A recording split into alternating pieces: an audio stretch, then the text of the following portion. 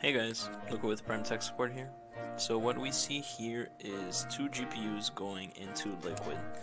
Now, oddly enough, this is the way that you fix liquid damage. Um, this machine right here is an ultrasonic cleaning machine, and it is filled with uh, this liquid, which what it happens is once the machine is on, um, it's gonna go ahead and create vibrations in the machine, and then the liquid is gonna act as a solvent to remove the corrosion that's on the GPUs. Uh, once the board is fully cleaned and the corrosion is removed, then we can see if any chips or anything got removed due to the corrosion affecting the solder that was already there. And yeah, this is the basis for fixing any liquid damage.